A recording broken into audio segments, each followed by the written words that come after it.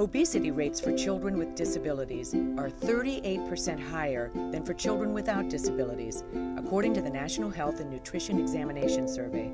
Yet children with disabilities are too often left out of the childhood obesity conversation. To address this inequity, Keen, Kids Enjoy Exercise Now, recently held a summit meeting in Washington, D.C. Titled Mom, I Want to Play, the symposium featured expert speakers and panelists who discussed the need for, availability of, and obstacles to providing fitness programs for this population. Um, so when I was asked to, to speak here, I was very excited and honored, and then I realized I had to give a 45-minute talk, which was very intimidating because I had no idea what I would talk about, and mostly because I'm not used to speaking to adults, but also because I don't specifically work with kids with special needs and fitness all the time. I, my specialty is kids in general, and then I do the work with special needs kids. I've always just considered that a, a passion of mine and something that I, that I like to do. So when I was thinking of all the different things, that's my thought process, including I have a constant thought of Mexican food and, and burritos. uh, and just, those were all my own pictures. The rest is just stock photography of children, funny children doing exercises because that's all I have available to me because of my speaking engagements usually. Um, so I was thinking of all these different things because there were a lot of different topics and, and Kate and Joanna gave me some ideas and what kind of tied them all together is that when I started thinking about them was I realized that a lot of the things that I was going to talk about are things that were important to me having to do with kids' fitness in general and working with kids with special needs was that they connected to Keen and that Keen is doing a lot of these things already and it's the reason why I've continued to work with Keen so much. And I, at this point, with what I do and, and the work that I do with other companies and things like that, I don't lack opportunity to spend time doing physical activity with children. I could spend every hour of every day doing some sort of sports program, but Keen has been the one that draws me back over and over and over, and I realized that a lot of these things were the reason why. So I wanted to talk about a few things, and then hopefully we'll have time for questions at the end, or maybe no questions because it wasn't interesting, or I answered everything um, so I don't have to go over too much the childhood obesity stats. That's a pretty common thing now. Everybody knows a lot of the numbers or just the general idea that it is a very significant and serious problem. And in my relationship with working in fitness, there have been many times, especially in the first few years that I started, thinking that maybe it wasn't the most important thing that I could be spending my time doing because so much of obesity is caused by, I, food is one of the biggest factors and, and even working with private clients who are adults, if you aren't eating correctly and they're trying to lose weight or all these other goals, usually that is such a huge factor that I felt like maybe I was putting my attention into the wrong area until I started to realize, especially with kids, that the big thing about exercise is what movement does to our bodies and how it affects us socially, emotionally, how it makes us feel. When I go into schools, the big thing that I talk about is how exercise actually makes us scientifically happier and helps us sleep better and helps us focus better and, and all the side benefits outside of just how it affects to people coming to me asking to lose weight. And that's when I got really passionate about working with kids specifically was talking to them about movement because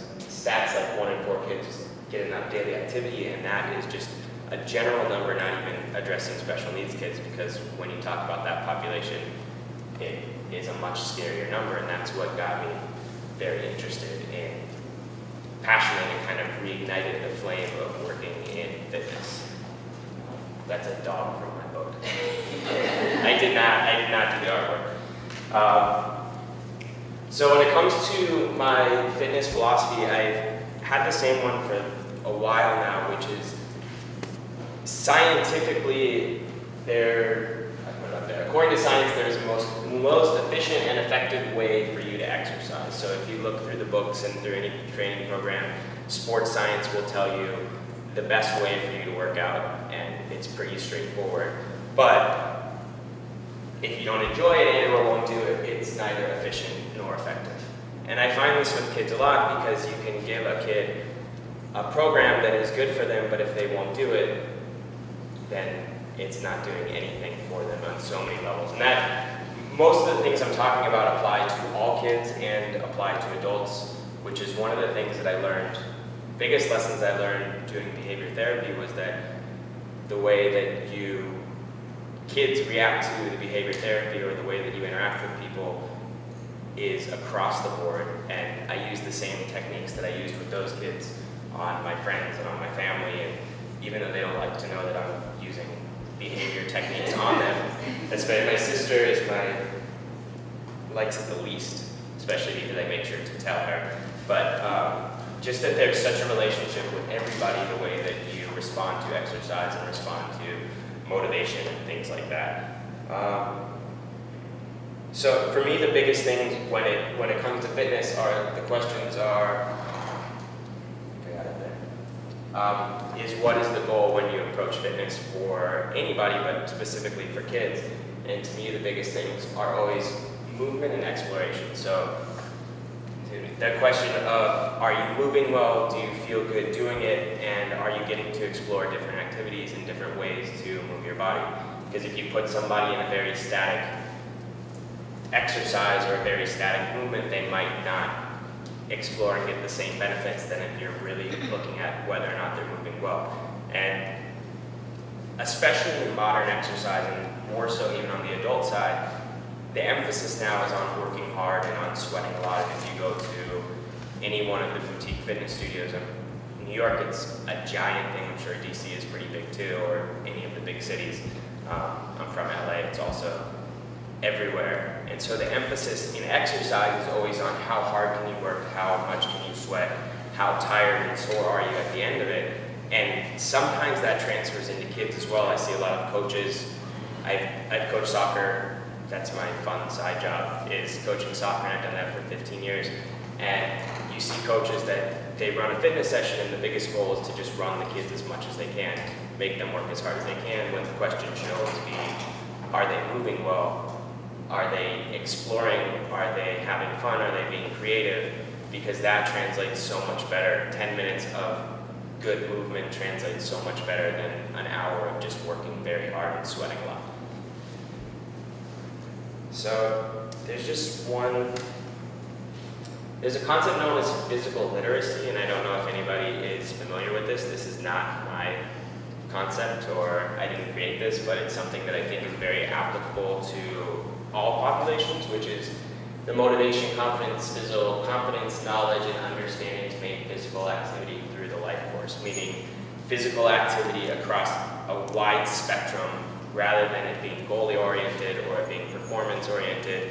And some of the byproducts of that are motivation to capitalize on movement potential, to maintain a positive attitude, and to be happy to practice, try out, to welcome advice and guidance. And I'm going to connect all these pieces back to Keen in a minute, but I think that the, the last one is one of the biggest things when I go to Keen that I see is that when kids go to the sessions, they're not in a clinical setting where they're being forced to do something. They're actually in a setting where they are open to being happy and to enjoying it and to wanting to return to it and do more of it, which I think is the biggest goal of any learning experience. So that to me is just a, a huge thing. Um,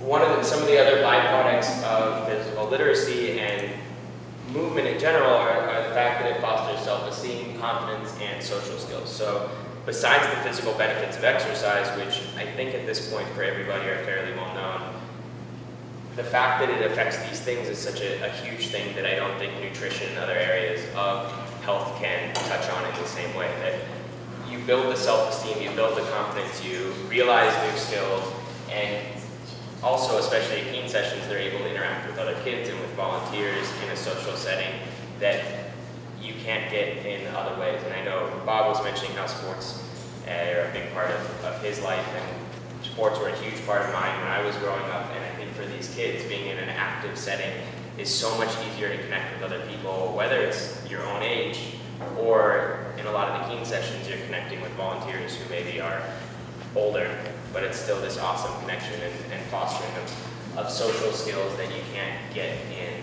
clinical settings in the same way.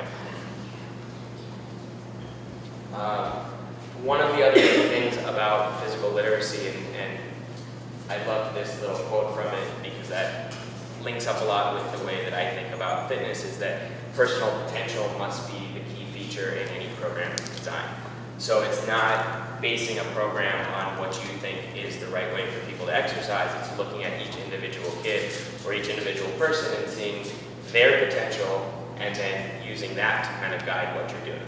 So when kids show up at a Keen session, they're not coming in with a very structured routine of like, this is what we need to do. We need to, you know, we're not trying to get all the Keen athletes coming away with six packs and giant shoulders. We're looking at what what is their potential, which I always think is, is huge, but how do we factor this into what we're going to do with them today? And I think one of the things as a coaches committee member and, and when we pair volunteers with the kids, we always like to tell them about the kid first, just so they have that, that guide go with, or volunteers that return for the fifth or tenth or hundredth time, that they can take this and turn it into the right program for that kid, which is so important. All right. One of the other things that, um, that Kate and Joanna had mentioned to me was about how to interact with kids with disabilities. And in general, I work with kids a lot, so all of my friends and anybody I come into contact with naturally assume that I have this magic response of how to talk to kids, which even at Keen sessions, I think sometimes people will turn to me or turn to somebody else who's wearing one of the one of the green Keen shirts, which I thought about wearing today. Um, and they'll ask us about ways to talk with the kids. And for me, speaking to kids with special needs is exactly the same as speaking to kids without special needs or speaking to adults or speaking to somebody in a business setting. And the biggest factors for me are patience, respect, and genuine interest. So the biggest thing, one of the other big things that I learned working as a behavior therapist was that it required a tremendous amount of patience. So that was, that was number one. A lot of the kids when they would have their behaviors, which were behaviors were classified as, um, I mean, you could you could look at it in a lot of ways, but when they were yelling or they were crying or they were acting out in class, the biggest and most effective way to deal with it was waiting for it was waiting for it to go away. So not responding to it and just waiting for the behavior to slowly go away on its own, which is a very difficult thing to do and requires a tremendous amount of patience. So I think that's, that's one of the big things and one of the great things all the people that I see that come in as volunteers to Keen have a tremendous amount of patience. The respect that they are actually a real person, that you are listening to what they're saying, and then whenever they're talking to you, that you actually have a genuine interest in what they're telling you. And I think most people, where they straight talking to kids, in any setting are, is the fact that they don't actually show genuine interest and they don't actually listen they talk to them in a different way, which the number one way for me to talk to kids is to speak to kids like they're real people. And I think when you do that, it shifts the dynamic between you and kids. You don't have to talk to them like babies. You don't have to talk to them um, any differently than you would somebody in a business. Well, you would be much nicer to kids than somebody in a business meeting, but it would be this interaction with them like they are real people and that their opinions matter and that what they think does matter and recognizing that you're actually hearing what they're saying makes a huge shift in the way that they interact with you and that to me has always been one of the biggest factors that I've realized working with kids and if I'm tired and I'm not listening, my interactions with kids always suffer from that because if I'm not giving them my full attention, they realize that very quickly and their response is very different. And I think Keen is an awesome situation because you are paired one-to-one, -one, so you are forced to give that patience and respect and you are have to be present and engaging with them, otherwise it just doesn't work.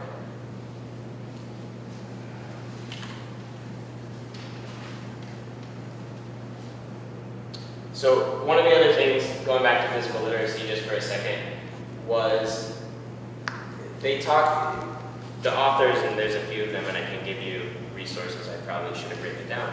Um, they talk about a lot of things, but they do specifically touch on kids with disabilities or people in general. And three of the big things that were my favorites that they always say is that you have to approach it with an open mind, high expectations, and a willingness to adapt. And anytime I go into a Keen session, I think that, especially that second one, which I think is something that people overlook sometimes, open mind is usually, you probably wouldn't be at a Keen session if you weren't open-minded. Probably wouldn't go to a Keen session if you weren't willing to adapt at least somewhat, but I think the second one of having high expectations is huge because it's not requiring results, but having these expectations that they can do a lot, which every kid that comes to Keen, different kids, the expectations for them will be at different levels. But when you interact with them, realizing that your expectations of them should be very high, should be that they can accomplish all these things, should be that they can interact with the other kids and they can interact with volunteers and they can do so much. So not expectations on a result level, but on expectations on what they are able to accomplish. And I think that's one of the greatest things where sometimes I will see a new volunteer and maybe they're a little bit timid working with a kid. They don't want them to get injured or they don't want them to, they, they think they are more limited than they are. The second they open it up and they realize that there's all this potential, it is unbelievable. And I, even yesterday at one of the schools in Virginia, there was a girl that had no legs and she was doing the push-ups, she was doing the jumping, she was doing every single thing that I do with all of the kids at the assembly and she was, I mean, she was doing it better than the majority of the kids there. And it was incredible to see this and realize that the expectation for her should be just as high as everybody else, that she can do all of these things. And I think that's one of the biggest things. Um, which goes into the next part, our responsibility as, I'm not a parent, but as parents, as educators, as volunteers, as people that work with the population. Um, and I think there's, there's a few things, but for me, the single biggest thing is opportunity, which kind of goes along with inclusion, but is just to give kids, excuse me, I'm losing my voice a little bit from the eight toxic schools. I think opportunity is the single biggest thing is that just kids have a chance to play, kids have a chance to move. And across the board, this is a huge issue with kids. There's limited PE classes now. Some of the schools that I used to work at in California don't have PE teachers at all. Some of the schools that I've been to have 800 kids and one PE teacher that's working with 50 kids at a time, and that's just the general classroom. So when you start to look at other challenges facing children with special needs, it becomes even less and less and less available to the point that a lot of these kids, like Bob was saying, don't have opportunities at all to get physical activity. So I think the single biggest thing is that we do give them an opportunity to play. That's one of the reasons I absolutely love Keen is because it provides this opportunity. And working with special needs kids and as a behavior therapist, there were so many hurdles all the time with things like, like IEPs, with things like caseworkers, with funding, that every step took so much energy away from actually working with child just to get the funding, just to get the resources, just to get things available to them, that a lot of times physical, physical education would be 15th or 20th or not even on the list of priorities at all. And giving them an opportunity to actually move and to play and to be included is so important to all these things and all the, the issues and benefits of movement exercise. The, the other things are giving flexibility. So again, goes along with the inclusion, but when we're at a program or even within schools, as, as a teacher, especially as somebody, I used to also work as a PE teacher, being able to look at activities and see how we can include kids in them which is difficult because so many teachers and so many educators do not have training in that area. And in places like the schools in California where kids, they didn't have a PE teacher, a lot of times it would be one classroom teacher would take two classes and go out onto the field. So an untrained teacher in physical education would work with 50 kids at one time. twice a week, and that was, you know, to on top of that, find flexibility is a very different, difficult thing, but that's one of our biggest responsibilities, and one of the things I think we should always strive for. And, and the other one is guidance and support, which is just like very straightforward, just giving the kids the support to do these things, to try new things, to maybe put them in a situation where they might get bumped and bruised, but realizing that they are children and that's what kids do, and letting them play, letting them move, and not treating them like they are special needs kids in that sense, but giving them the opportunities to play. So some of the challenges, um, and again, I, I mentioned a couple of them, but some of the challenges are similar for all kids, which again, having to do with instructors, so having trained instructors. On, I see, I've been in probably 300 schools in the past several years, and I've met a ton of PE teachers, and there are teachers that are incredible educators and know their stuff, and there are teachers who run their programs having their kids run laps around the gym for 20 minutes and then sit them down and give them long talks that don't mean a lot. And so it is so hard to find people that are in that space that have the patience, that have the flexibility, that understand the programming for children in exercise and in general, I know in fitness, a lot of my colleagues in gyms tend to get a bad rap for being maybe less educated or maybe being somewhat of meatheads, which is very true a lot of the time. I, I used to work with somebody who was very proud of the fact that he had never read a book before. He, including like high school, he said he said he got notes from somebody. Um, and it, it, a lot of times that translating then into PE, PE or working with kids and, and doing physical activity with children is a lower paying job requires 10 times more work as anybody working with kids knows. And so by the time you get to these people that are working with kids, it's usually either they're not trained well enough or they are completely burnt out or exhausted or there just aren't the resources available because it can be very difficult if you actually don't have the physical resources to go with all of these things or if you have 75 kids.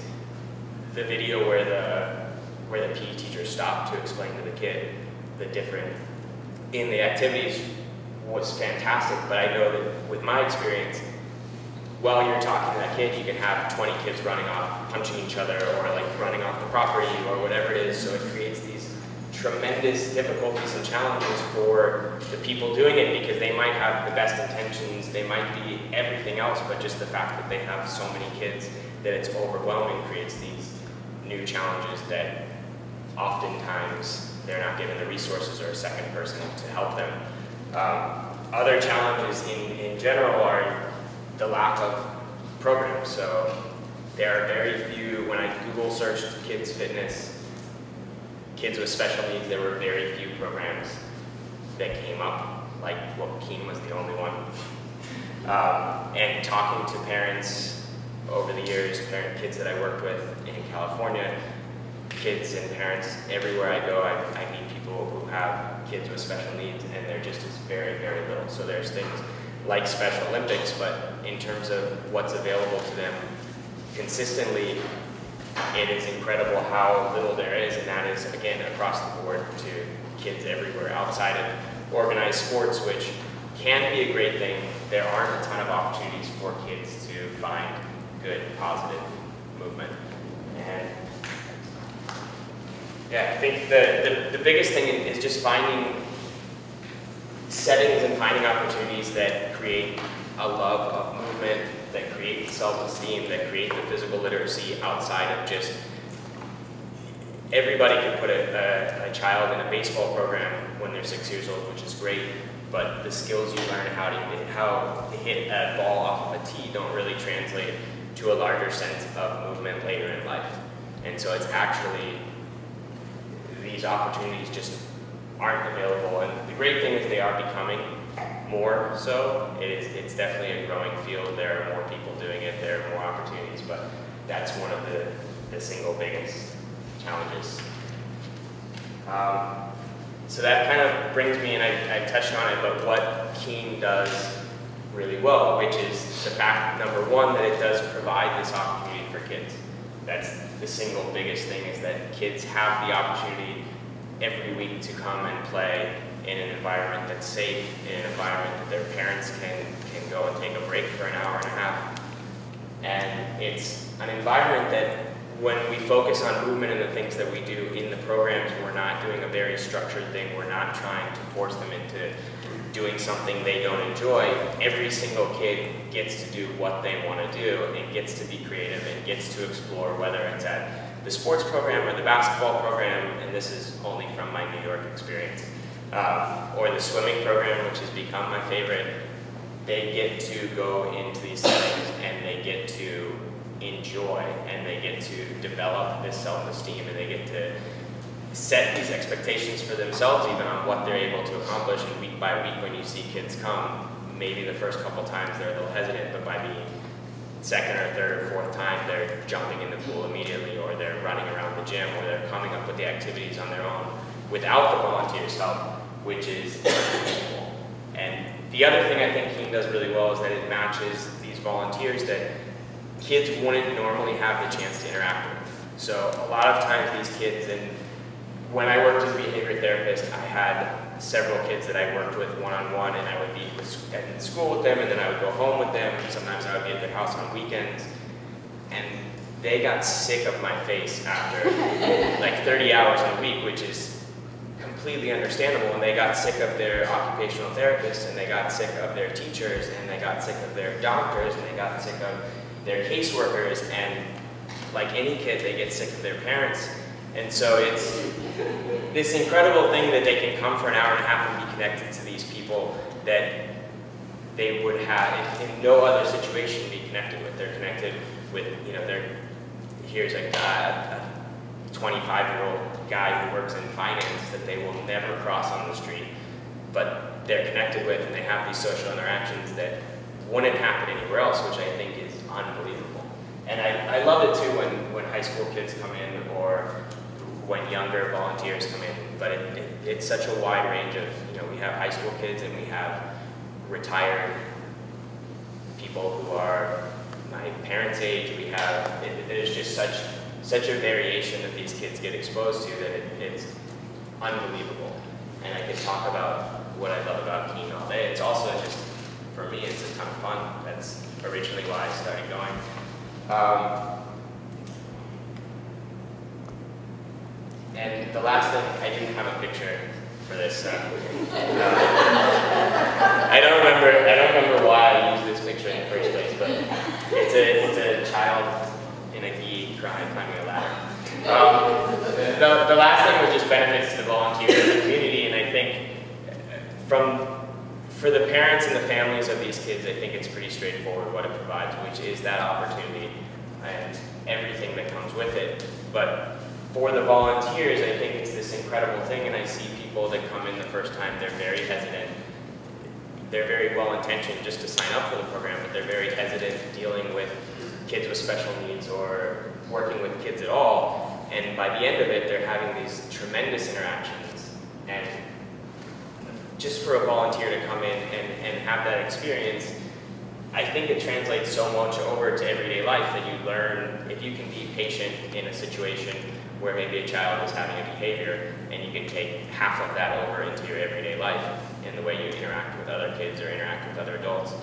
Even in a crazy city like New York where maybe everybody isn't polite all the time, if you can take just a little bit of that into what you're doing, I think it's just unbelievable and the way that it connects everybody together.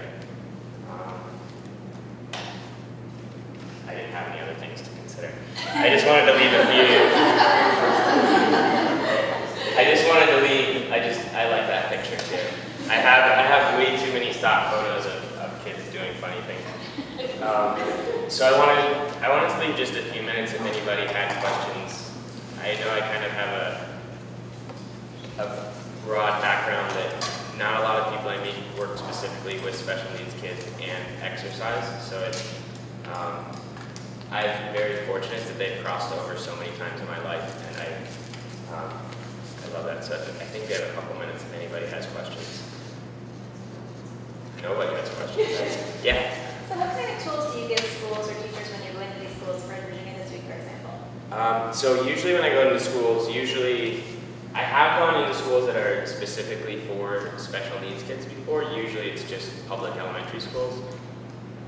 Most of the time I just go in and do an hour-long assembly, so the big thing for me is promoting that exercise can be done in any number of ways, and that's the main message that's supposed to come out of my book also is that no matter what kind of exercise or what you like to do, so if you're not a fan of, of team sports, that you can find ways to exercise that you enjoy, whether it be something, an individual thing like tennis or yoga or swimming or riding a bike, or if it comes down to actually creating your own exercises. And that video of the trampoline was just, I just love that. Um, because that's a, when, and when I was working with with uh, as a behavior therapist, we did a lot of that sort of thing where it was just so we just improv the whole time, and sometimes it did take like reading. I, we didn't use a trampoline, but I had that experience, and it was just so fantastic that you can find ways to move and to be active if you just put a little bit of creativity and thought into it. And that's my biggest thing for kids is that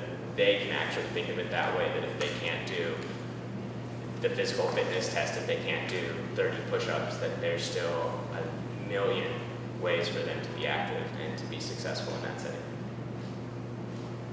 Anything else? Was that? I don't have a good. I don't have like a good concluding.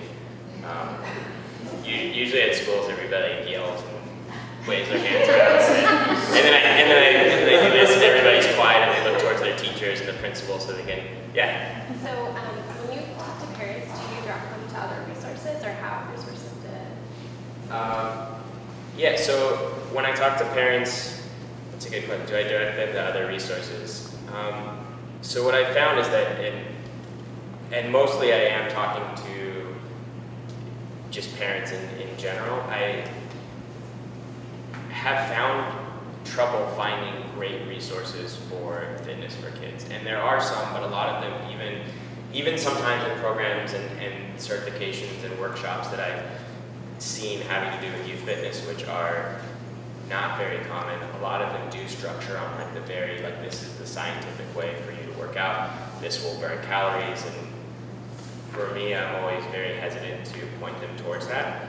Um, I sometimes will give them ideas of other ways that, that they can have their kids exercise and um, I'm starting to see more things. I have I have a friend in Portland who has a personal training company that only works with kids with special needs. It's fantastic because they actually do get kids in the gym, and it's. I went and visited him in May and saw it firsthand, and it was just unbelievable. So when I find something like that that I think is amazing, but um, I actually do have trouble sometimes finding things that I really, really believe in all the way because I think usually it has to do more with, at this point, which is one of the issues, usually it has to do more with the individual person than the organization itself, which Keen is an exception to that because every time that I go, it's this great experience and the foundation of what it is and, and how everybody comes out of it and how the volunteers are, are prepped for working with the kids and the people that, that oversee it. And Maggie's not here, but she's unbelievable. Um, she's the New York director. It, that to me is so much bigger deal. So it, yeah, I, I would love to see more organizations and groups like me where I could just confidently point people in that direction. For more than two decades, Keen has been providing free sports and fitness programs for kids with disabilities in Washington, D.C., and in locations across the country. For more information on the symposium or on Keen, please visit their website at www.keenusa.org.